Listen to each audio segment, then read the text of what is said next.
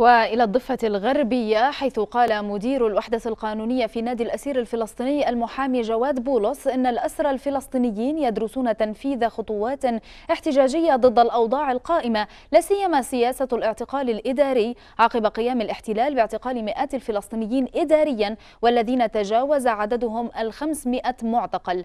وأشار بولس خلال زيارة قام بها اليوم إلى سجن عوفر الإسرائيلي إلى أن الاسرى يشتكون من حرمان عائلاتهم من الزيارة. الزيارة وفي كثير من الأحيان يتم إرجاعهم عن الحواجز رغم حصولهم على التصاريح اللازمة للزيارة.